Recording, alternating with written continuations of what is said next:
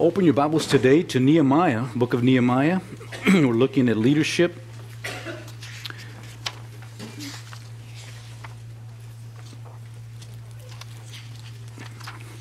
Essentials of uh, Christian leadership. We had an opportunity last week to spend a few moments talking about delegation. Delegation out of uh, the book of Exodus, chapter 18, that your middle initial should be D for Mr. Delegation. Your job is to make sure the job gets done. It'll be done by putting people to work.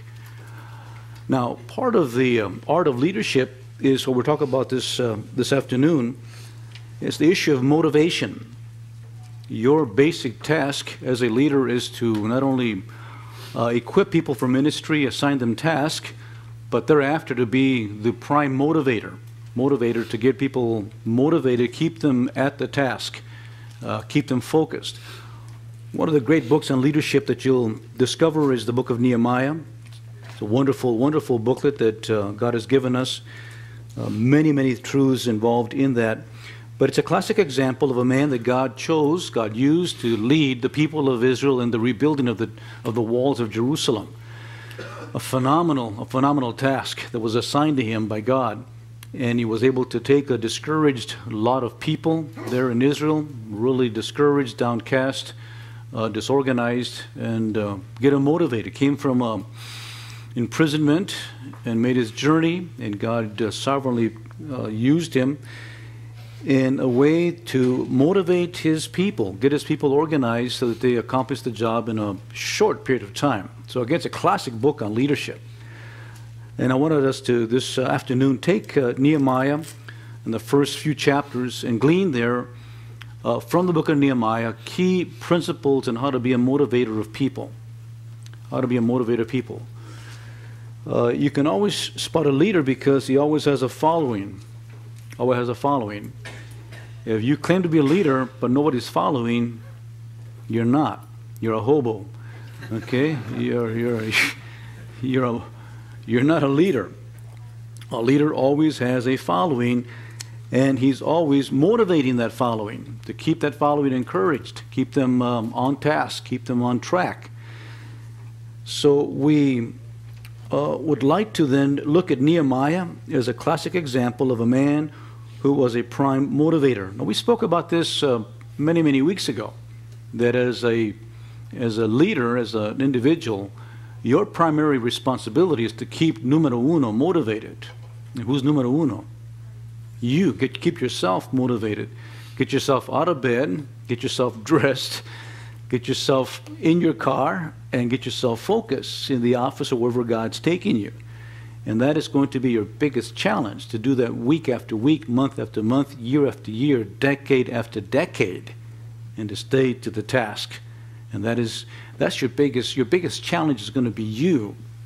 You and how to keep yourself motivated.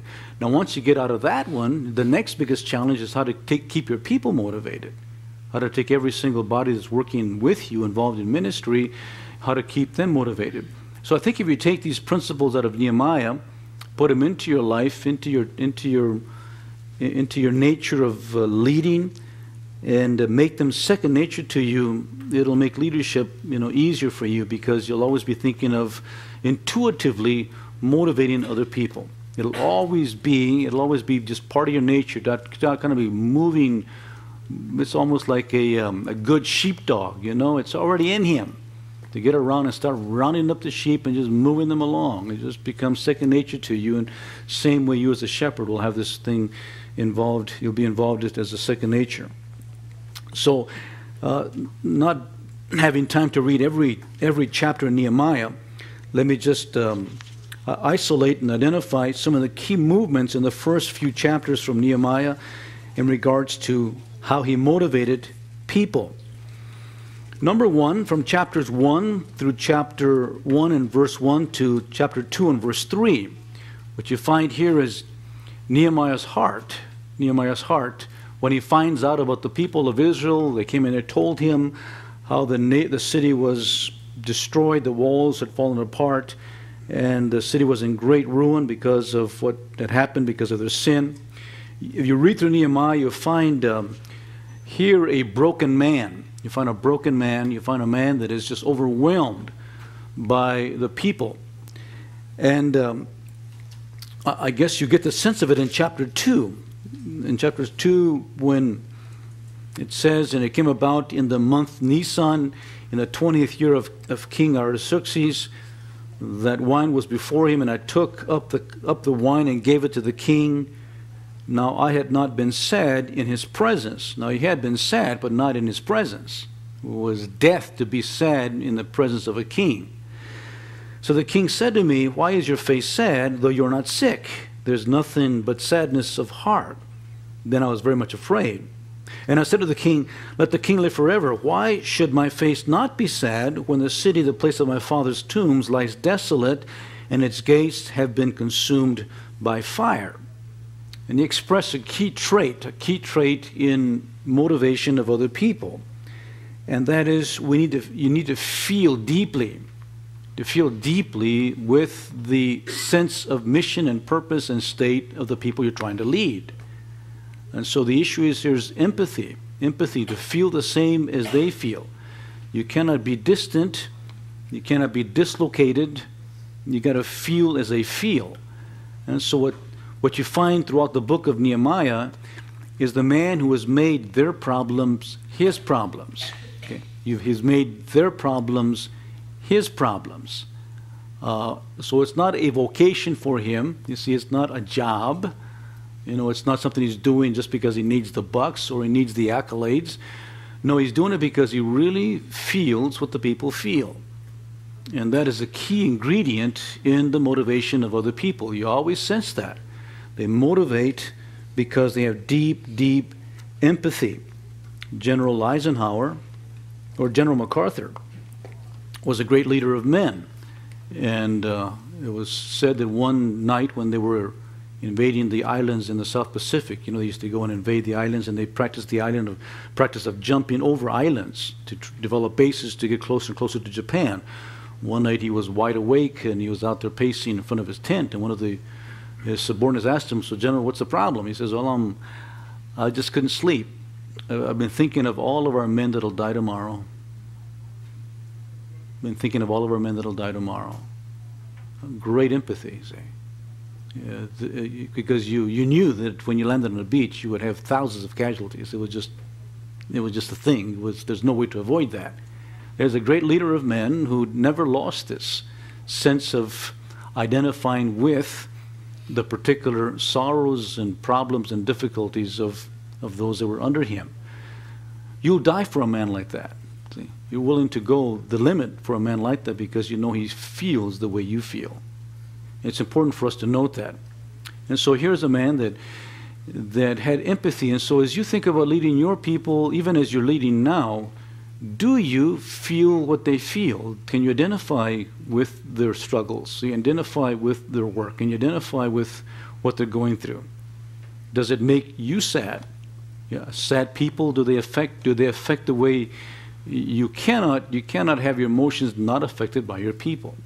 Important for you to note that. And, and it becomes, you can express it. You can, you can see it on your countenance like they do. They saw it in his, his countenance. It just bled through. It was impossible for him to keep it, even though it would have cost him his life had the king not been disposed towards him and liked him.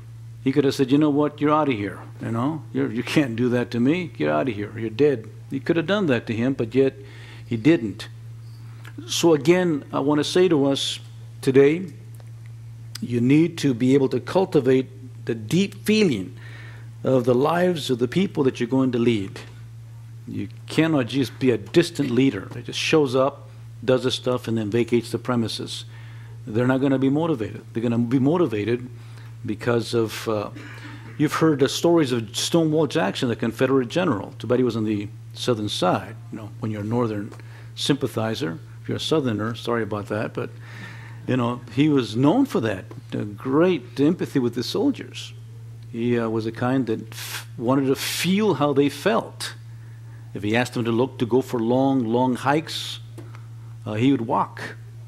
He'd walk with his troopers. If he said, let's hike all night long, we need to reach our destination next by morning, they, they walked through the rain, he'd get off his horse and walk through the rain. He wanted to let the soldiers know that if they slept in the rain, he slept in the open with them. You know, he was shot because he was out in the front lines as a general reviewing what was taking place.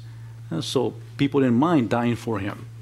And much the same way with you, the same way. If you feel the same way about people and they know that your heart is there, they're going to follow you to the, to the limit. They're going to do whatever you do because they know that you're right there with them. And so Nehemiah, as, he be, as you begin this chapter, begin this book, you sense that about this man. Uh, here's the idea where Jesus talks about in John 10 about the hire, remember the hireling. The good shepherd, you know, feels for the sheep and he gives his life for the sheep. The hireling only wants the vessel, you know, the buck.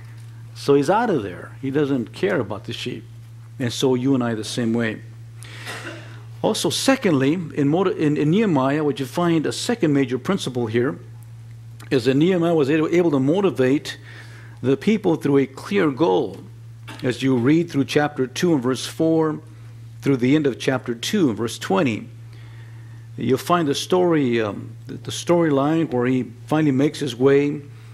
He gets permission from the, um, from the king, and he really has a clear idea of what he wants to see, what, what he wants to see accomplished. There's no, vague, no vagueness about him. He has crystallized in his own mind what God would like him to do. And this is a great motivator when it comes to people. So you notice in, in our substructure there that he had a clear goal in his mind. When the king asked him, I mean, Nehemiah told him exactly what he wanted to do. He told the king, here's what we need to do. We need, I need to go, and here are my, here are my steps. He uh, gave the steps to the king of what he wanted to do. He, um, he wasn't no idle dreamer. The man really had his act together. He had a vision what needed to be done that we spoke about under vision, and he knew how to get the job done. He had the steps outlined, etc. And then when you come to verse 17, when he finally gets into Jerusalem, and um, he tells he tells the people there, you listen, you see the bad situation we are in, that Jerusalem is desolate and its gates are burned by fire. Come, let us rebuild the wall of Jerusalem that we may no longer be a reproach. I wonder how many folks in Jerusalem had that as a, as a goal. You know, many many people people got up and said, you know, folks, let's we, we have one thing we got to rebuild these walls. I, I, suppose, you know, very few ever had that. They're probably just survivalists. But see, when he got there, he knew exactly what needed to be done: rebuild these walls. Clear goal in his mind. And, and when you add to that, when you add to that in verse 18, that somehow I told them how the hand of my God had been favorable to me, and also about the king's words which he had spoken to me, as it is say, you know, this this thing that I have is not an idle dream. This is not fantasy. When I shared this goal with my king, Artaxerxes, you know, he saw it as a good thing to do. And so he gave, he gave his approval, not only his approval, but look at the credit card that he gave me and the entourage of people that came along with me. You know that this has the backing of Wall Street. You know, this has the backing of a major enterprise. So again, uh, the idea this is not some idle dream. This is a clear-cut goal. It's important for us to realize that if you know where you're going, people are motivated.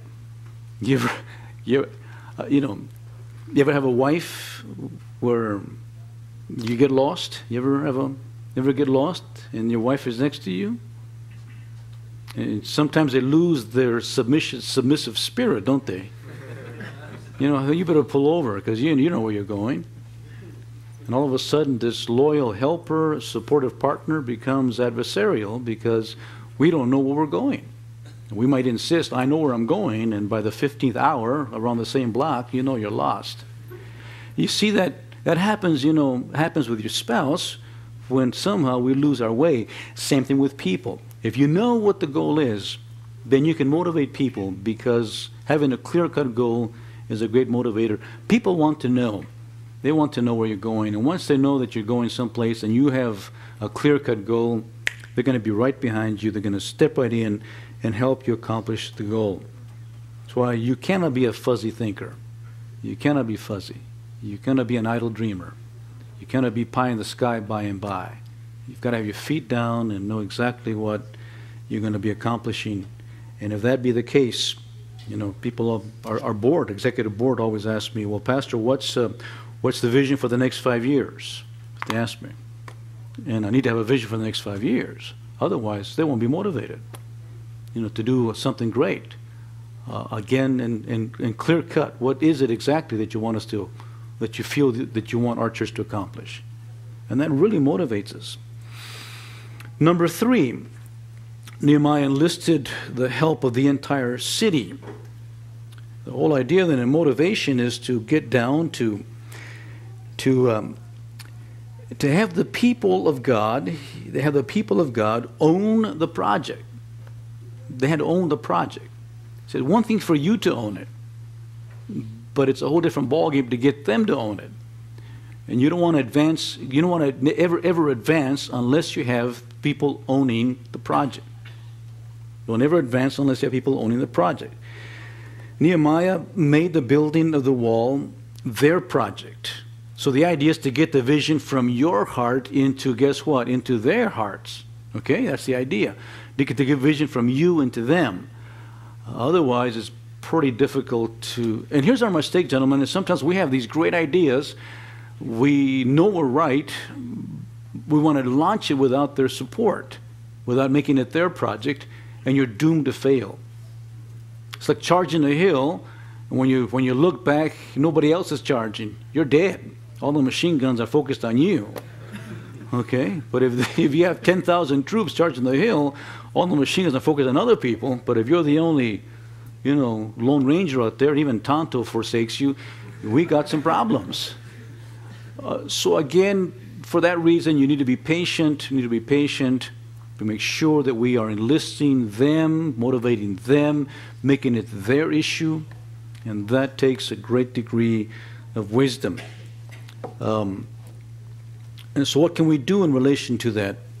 Uh, Nehemiah begins by using the um, cohortative, okay, not the I, not the ego, ego building words, but the uh, uh, wall building words. The ego building words are always I and me, but the wall building words are always let us. It's the we, let us do it. Those are the, the wall building words. That's why you notice in verse uh, 17 of chapter 2, after he tells him what, um, what brought him there, come, let us let us build, rebuild the wall of Jerusalem that we may no longer be a reproach. You know, let us. You, you need to include that. May, may I make a note there's some place that as you lead people in the direction that you know they need to go, that unless they're with you, you dare not make any moves in that direction. Just, you know, bide your time. When we first introduced our Awana program at our church, I know it was, uh, it was a great program, the Awana program, way, you know, 20, almost 30 years ago when it was on the scene. Great program. And I told our children's pastor, I said, you know, we should have this. And they met together and they decided no. They said, no, this stuff won't work. The barrio kids are not going to wear uniforms. You know, they're not going to they're not going to come out here on a Wednesday night with uniforms. They're not going to play these games. They're not going to memorize these verses. It's too expensive. They're not going to pay their dues. It's not going to work. I left it there. Because again, if I wasn't about to teach the stuff, so unless they're with it, I'm not going to do it. So why charge the hill by myself? So we left it there, and I kept the vision, and I said, okay, no problem. Uh, and then about a couple of years later, they went to an Awana Olympics just to observe. They came back all excited. They said, you know, Pastor, we need to have Awana. It does work. You know, this thing is not is going to work. We can make it work.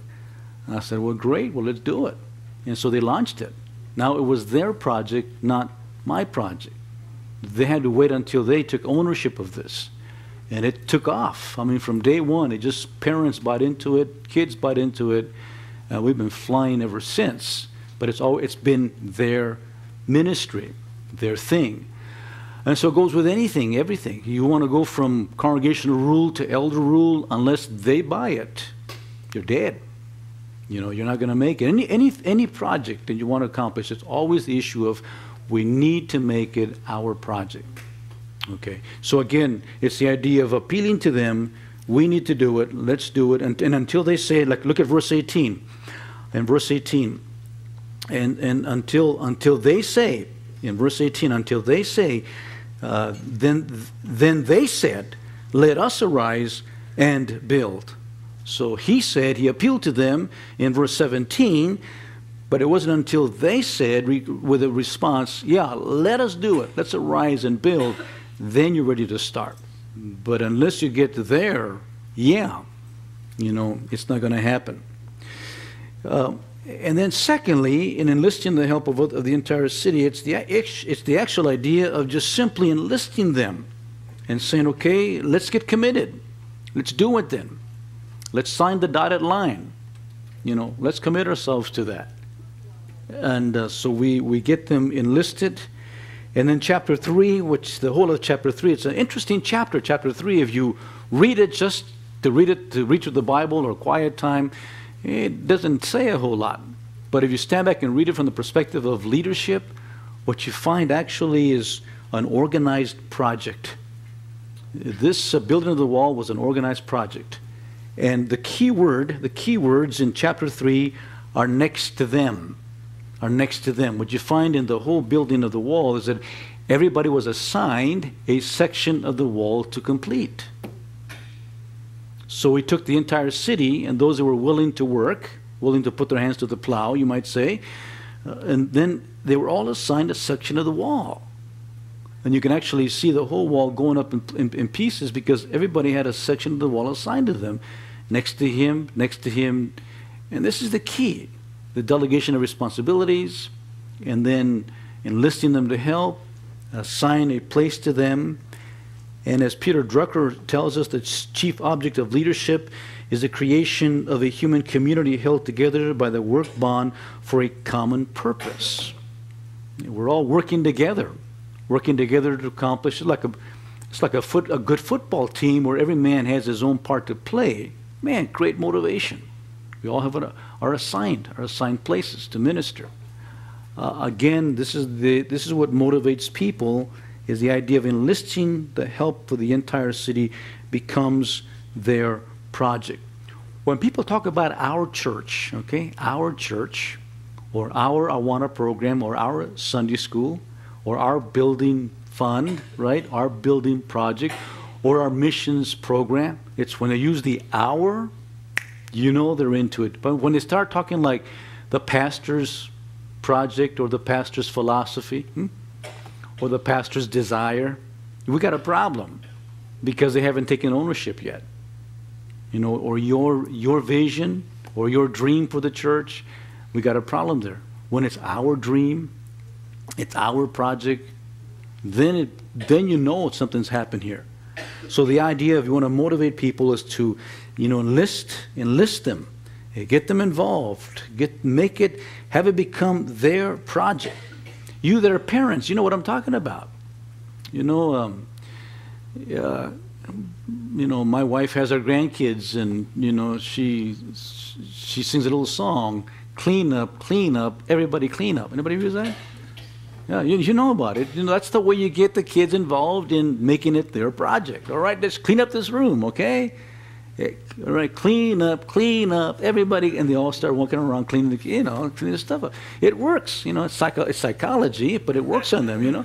The, the whole idea, let's make it. This is our room. Let's make it our project, and so they're motivated to do that. And so that's the idea here. So again, keep that in mind, and Nehemiah was able to do that. So that when you get to chapter three, what you find is not Nehemiah by himself, he and his, you know, a few cohorts trying to build the wall. You got this whole army of, uh, uh you know, uh, it's like ants crawling all over this wall. Everyone doing their part in the rebuilding of the wall. Look at number four. Nehemiah instilled in the people self motivation self motivation, instilled in them self motivation. Important for us to know as leaders that people always do things because they want to do them. They always do things because they want to do them. And so the key then is to get people to want to do things, instill in them the motivation as to why they want to do. You, when you move, when folks are doing something against their will, it's going to they're going to stop doing it. Eventually, as soon as you leave, they stop doing it. You've, you've been there in a job. When the foreman leaves, everybody stops. Remember you've been there? So foreman's there cracking the whip. We're all working, and then as soon as he's gone, all right, guys, coffee break. Forget it. You know, we all stop working because it's not in us. But if you're self-motivated and you do it, the foreman leaves. Hey, you know, you're still doing it. Why? Because you're motivated. You have to get that, that self self motivation. So Nehemiah was was able able to tap into this self motivation aspects of the people, and he did so by just taking some very noble, noble, and basic human instincts that all of us have within us. The thing, the same things that keep us here in seminary, the same thing that got us through life, are the things that are going to motivate people to do things. Notice some of these. First of all, self-respect. Self-respect. Great great motivator. It is probably toward the top. What motivates motivates even us to die is the whole issue of the issue of dignity, human dignity, your self-worth, your self-respect, what you're made out of. That's why in chapter 2, verse 17, did you catch it? In 2, verse 17, uh, when he said to them, You see the bad situation we're in, uh, that Jerusalem is desolate, its gates are burned by fire. Come, let us rebuild the wall of Jerusalem, that we may no longer be a, what's the word there? Speak to me. A reproach. You know, it's the coach at halftime saying, you know, fellows, this is embarrassing. And we're losing by 20 points. Aren't you embarrassed that the second rate team is thrashing you? It's taking your carcasses across the football field and mopping it green. What are you going to do about it? See, see, the whole issue, it's the issue of self respect. And, and that is a great motivator. How many of us have been motivated in the, after we thought we'd do well in examination and you got your paper back and you felt a sense of embarrassment, right? And you went back and you, you reapplied yourself because you realized that that was not you. This is not the way you function. You don't function at this level. You function at a higher level. And this low grade really, you know, was a kick in the behind to just awaken you, to say, this is not you. And this is what he's saying to these people. You know, this is not us. We're the people of God. I mean, our God reigns. And look at us. This broken down wall is a insult to our God and to us. Again, this is where if you talk about dignity and, and self-respect becomes a great motivator. Notice also number two, the view of the glory of God. The wall is what God wants done. That's what Nehemiah is saying to them. This is what the Lord has for us, the glory of God. Obvious, this is obvious toward the top. It should be first, but in the order of exposition, it's, it's verse 18 and then verse 20. This is what God would like us to do. You know, the God of heaven will give us success. This is the Lord's plan, and the Lord wants this thing accomplished God's going to be glorified. And so the glory of God becomes a major motivator. Major motivator. I suppose all of us in this room, maybe without exception, we are, we are motivated by the glory of God. We'll go down in flames for the glory of God. Though we never get anything done, if we know it's for the glory of God, we'll go down in flames because we know that that is a chief motivator in our own hearts. Okay? And you know what? The people of God also going to feel the same way. It's not just the ministers that feel the same way, but if we instill this in the hearts of people, they begin to feel the same way. It's for the glory of God. You know, it's for the glory of God. And when you when people get to that level, then you know that they are going to be on their own, uh, accomplishing whatever needs to be accomplished because of the glory of God. And Nehemiah was able to remind him of the issue of the glory of God. Number three also is the matter of self preservation. We also have the word remuneration. What do I get? You know, what's in it for me is the answer.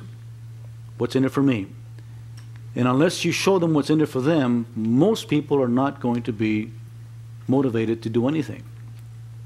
How do I benefit from this issue? How do I personally benefit from this?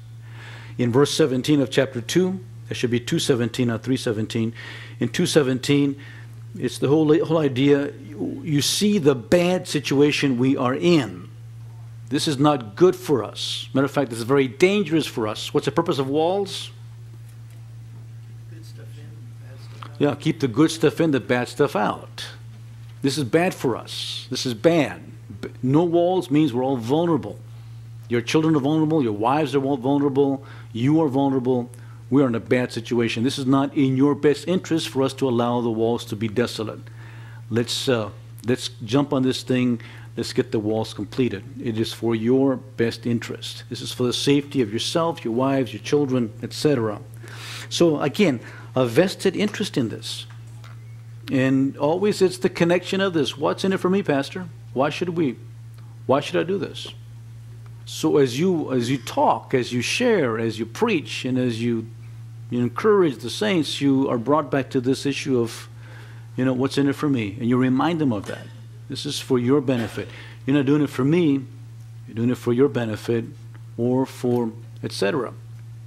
Again, so it's, but remuneration. Uh, sometimes it's money. You you hire people and you need to pay them well, take care of them well, and they will be motivated to work for you. Uh, uh, don't don't take care of your staff, you know, don't treat them well, don't pay them well, and they won't be motivated. You know, hey, I only get, I only get, you know, change. Why should I? Why should I do that?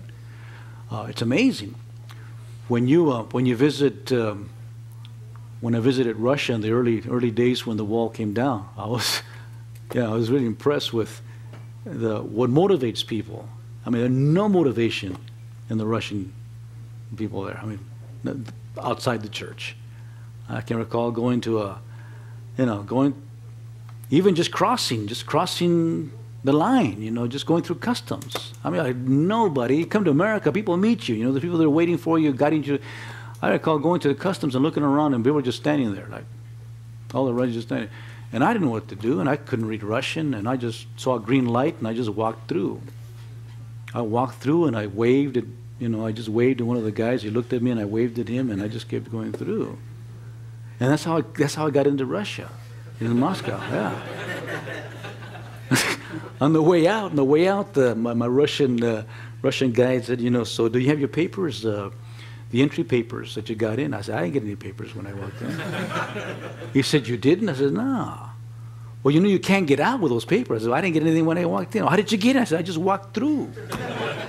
He says, they let you in. I said, yeah, I just went and waved and I walked through. Again, because, I mean, nobody moves. I can recall going to a restaurant and standing there at the, at the, at the counter waiting for someone to come and sit us, and nobody did. We waited, waited, and then we're just, just lallygagging, just talking. Why? Because, you know, you get paid little whether you do a lot or you do a little.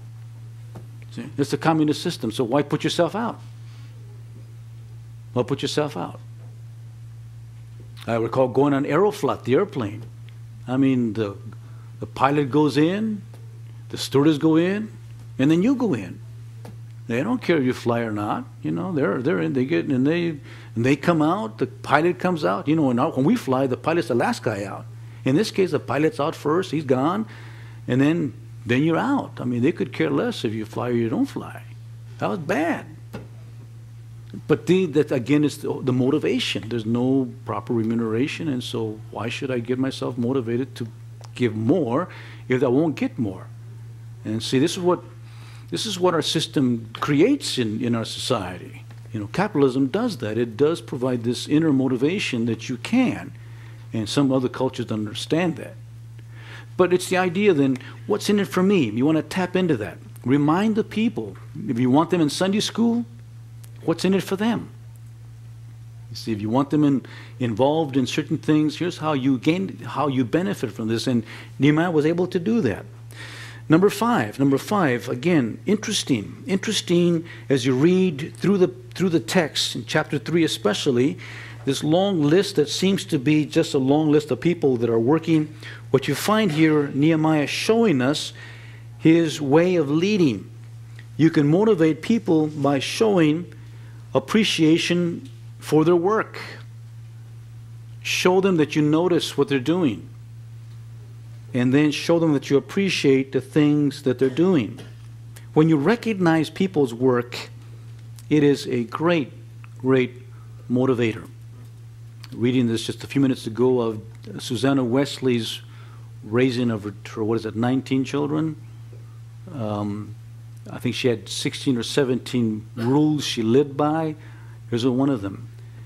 Never let a good deed, good deed go unrecorded or unnoticed. Never let a good deed go unnoticed or unrecorded. Want to encourage good behavior by recognizing good behavior and showing appreciation for that. And so the issue of uh, leadership is learning to show great appreciation. You see, a bad leader, just people work and he never never sees them. He never notices them, never goes out of his way to show appreciation for what they're doing. Eventually, his machinery grinds to a halt. Now, in a secular field, you just give more money. See, you give more bonuses and more, raises, and that somehow you can keep folks motivated a little longer. But in the nonprofit organization, nonprofit, here is big time stuff. In our nonprofit, which includes our churches, this is very important to recognize just appreciation. Now, you'll notice it, and I just made three or four, three observations here. Number one, recorded their names. Recorded their names. Imagine having your name inscribed in a book read around the world. By the way, you know what the most important word in the English language is? What is the most important word in the English language? What is it?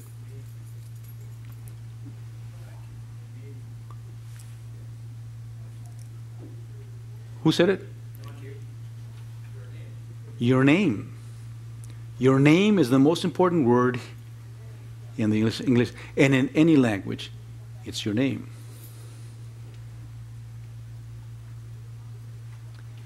You know, when you graduate a few in a few, in, you know, when you graduate in a few weeks, a few, the only name that matters is your name. You know, it's, it's why names are so important. And when you give recognition, so when Nehemiah recorded these names, you know, it's important. It's great motivation. That's why, uh, you know, you, you see that everywhere. And your name is so important. That's why they name, say, the name things after people, you know. Pews, you've seen pews with names on them, haven't you? Why do they do that? Because that's what motivates folks to give. Yeah, we'll put your name on it. Yeah, yeah, give me $40,000 for a pew. Put your name on it. Oh, yeah, yeah. It's only worth 500 bucks. You pay 40,000, 40,500 for the pew, 335,000 for your name. See? Uh, it's important that we recognize people. Number two, notice the uh, recorded their accomplishments, what they had done. As you read through the list, you begin to see that they next to them they built, they built, they, somebody built, somebody built the built the fish gate, somebody built this part of the wall, somebody built a tower. You know, they were a part of a particular recorded what they actually got accomplished. And number three, also how they did it. Just a few little verses here of how what it cost them, how they accomplished it, and what they did. In other words, the wall chapter three is a major chapter in showing that Nehemiah was concerned about the motivation of people, and he did it by recognizing and just showing deep appreciation for the work that God that they did for God. Uh, the idea of thanking people, thanking people. Man, it took me a long time to learn this thing, how important that is, just to be thanking people, to sit down on a regular basis and just thank people, thanking them for what they did. You know, thanking your Sunday school teachers, thanking anybody does anything for church to thank them. Show deep appreciation. And that becomes becomes part of your part of your nature when you do that. remember uh, years ago I to a conference and uh, there was uh, like 30,000 sample study, and uh, they polled employers and the employee, and polled the uh, workers. Employers that they were asked to serious, what motivates people? What motivates your employees? And the employers always said, salary at the very top. And they put recognition and appreciation down around seven. And in every case, the recognition and appreciation is at the top for the employee. Yeah, toward the top. Salary down, down low.